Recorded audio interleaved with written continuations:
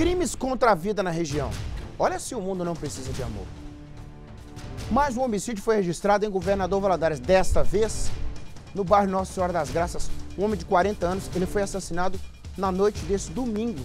O suspeito de ter matado Vilsomar Alves de Oliveira continua sendo procurado pela polícia. Deixa eu chamar aqui Miguel Braz, que traz os detalhes de mais um homicídio. É, lá na minha área, né, ô Miguel? Lá onde eu fui criado, né, Miguel? Boa tarde para você. Ei, Nico, ótima tarde para você e para todos que estão acompanhando a gente por esta edição do Balanço Geral. Como você disse, né, depois de uma reportagem com assunto maravilhoso, agora vem um assunto triste, viu? De acordo com a Polícia Militar, o suspeito de matar Vilsomar Alves, de 40 anos, é, uma, é um jovem de 19 anos.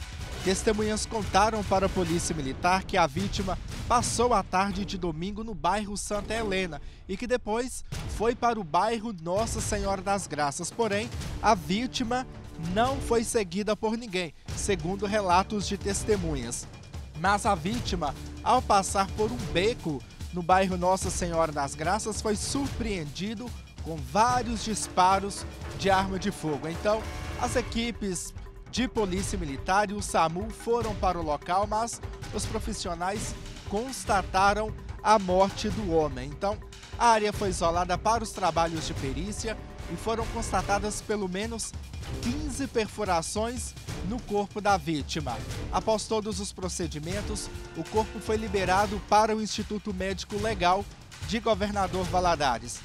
A PM começou os levantamentos para apurar este assassinato e descobriu que a motivação pode estar relacionada com vingança, já que, de acordo com os registros policiais, além de a vítima furtar a casa de um parente do suspeito, o homem teria agredido essa pessoa com uma paulada.